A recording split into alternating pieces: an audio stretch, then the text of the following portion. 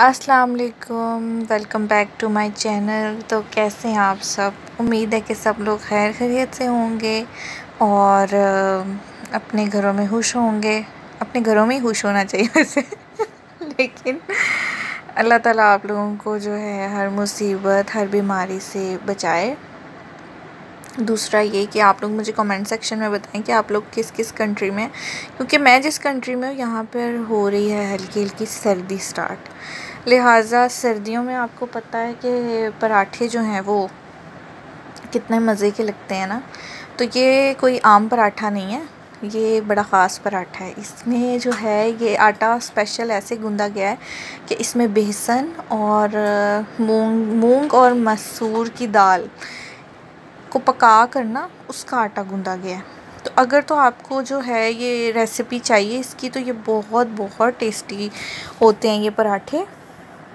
तो आप मुझे कमेंट्स किया करें। कमेंट सेक्शन में बताएँ कि आपको इसकी रेसिपी चाहिए। तो मैं इसको स्पेशल जो है वो इसकी रेसिपी को रिकॉर्ड करूँगी और आपके साथ शेयर करूँगी इसकी वीडियो ना। आप ये ट्राई करेंगे, आपका बहुत दिल करेगा इसको खाने को। अभी जो मुझे अगर कोई इंडिया या पाकिस्तान से देख रहा है तो वहाँ पर तो आजकल मछलियाँ चल रही हैं, सरसों का साग और मकई की रोटी वाह वाह वाह वाह, पर तो भी ये चीज़ें। तो मैं तो ख़ुद बहुत पसंद करती हूँ इन चीज़ों को। फ़िश मुझे इतनी लाइक नहीं है, लेकिन मुझे साग जो है वो बहुत पसंद है। वो तो मेरा फेवरेट है। लेकिन जिधर मैं रहती हूँ, यहाँ पर साग नहीं है। और ना ही आपको पता है, वैसा टेस्ट आता है। अभी मैं अपने पराठे को करने लगी हूँ इंजॉय वो भी बटर के साथ। आपको पता है, पराठे का मज़ा आता ही बटर के साथ है। यहाँ योगर्ट के साथ। तो मैंने सोचा, चलो बटर के साथ इसको इंजॉय करती हूँ। अभी मुझे जाना था नीचे। आप लोग कहते हो कि नीचे बड़ा जाती है। तो नीचे का ये राज है कि हमारे घर के नीचे जो है ना, एक मॉल है। और ये मैं आ गई ब्रांड आउटलेट पे। ब्रांड्स आउटलेट पे। और मुझे यहाँ पे ये ड्रेस बहुत पसंद आया था। और मैंने इसलिए ये लिया है क्योंकि मेरे भांजे की बर्थडे है दो दिन तक ना। तो मैं उसके लिए ड्रेस लेने के लिए आई थी। उसके लिए नहीं, यानी अपने लिए ना। तो मैंने सोचा कि मैं ये ड्रेस लेती हूँ क्योंकि मेरे पास जितने भी ड्रेस पड़े हैं वो ज़्यादातर ब्लैक ब्लैक ब्लैक में हैं।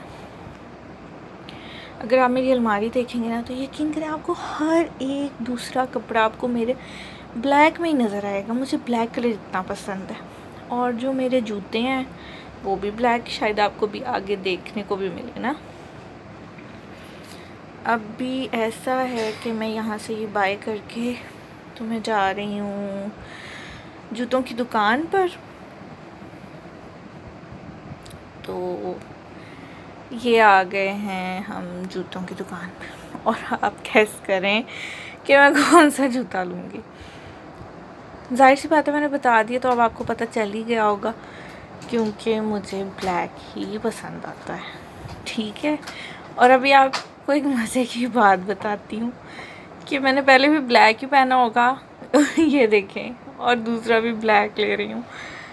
अब भी मुझे जो है ना मेरी दोस्तों ने और मेरे घर वालों ने मुझे इस चीज़ से ना चिड़ दिलाना शुरू कर दिया। लेकिन मैं क्या करूँ? पता नहीं, मुझे आ जाकर इसी पर ही मेरा दिल रुकता है और यही पसंद आता है।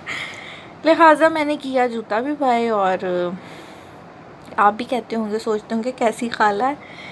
बर्थडे भांजे की और शॉपिंग अपनी, कोई बात नहीं, मैंने उसका भी सारा सोचा हुआ है। और मैं आपके साथ उसका भी ब्लॉग पूरा शेयर करूँगी। कि मैंने उसकी बर्थडे कैसे कैसे सेलिब्रेट की, क्या गिफ्ट लिया और कैसे हमने सेलिब्रेट की। आपको पता है, लड़कियों के पास जितने कपड़े हों, जितने जूते हों, वो उतने ही कम हैं।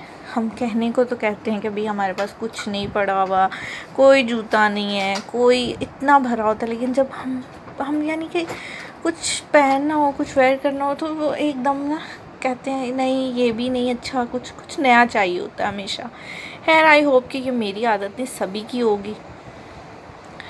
अब भी जो थी, मैंने मैं घर आई और मैंने देखा कि गर्मा गर्म बिरयानी बनाई हुई थी मेरी सिस्टर ने।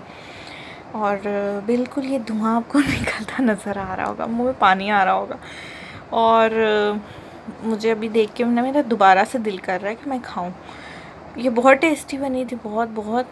और मेरी सिस्टर ने आलू गोश्त खाना था, उसका आलू गोश्त पे दिल था, उसने ये बना लिया।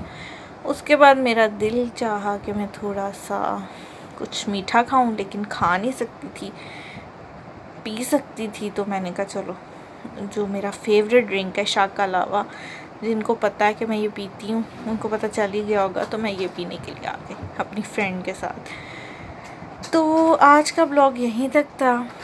मिलते हैं नेक्स्ट नेक्स्ट ब्लॉग में। कमेंट्स करके बताइएगा कि आपको कैसा लगा। अपना रखिएगा बहुत सा ख्याल। मिलेंगे इन नेक्स्ट ब्लॉग में। अपना ख्याल रखिएगा और मुझे भी दुआओं में याद रखिएगा। अल्लाह हाफिज़। देखो कौन सी आम का अच्छा